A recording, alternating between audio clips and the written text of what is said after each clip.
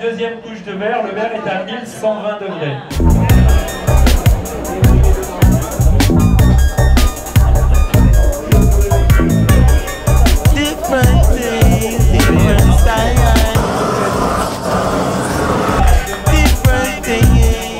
Ce soir, on a été réunis pour l'inauguration de la verrerie d'Antibes Jean Lépin en présence de monsieur le député maire Jean Léonetti. On lui a fait souffler un vase avec euh, différents cordons rapportés aux couleurs de la ville bleu et blanc.